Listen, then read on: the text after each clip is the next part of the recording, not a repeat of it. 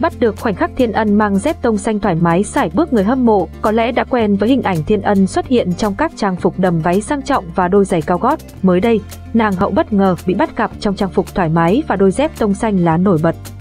Được biết, cô nàng vừa tham gia buổi talk show trò chuyện sau khi tham dự Miss Grand International trở về. Kết thúc buổi làm việc cũng đã hơn 22 giờ, Thiên Ân xin phép được thay đổi trang phục và diện đôi dép xanh lá mình yêu thích, hình ảnh Thiên Ân năng động, dễ thương trong trang phục thường nhanh chóng nhận được sự chú ý.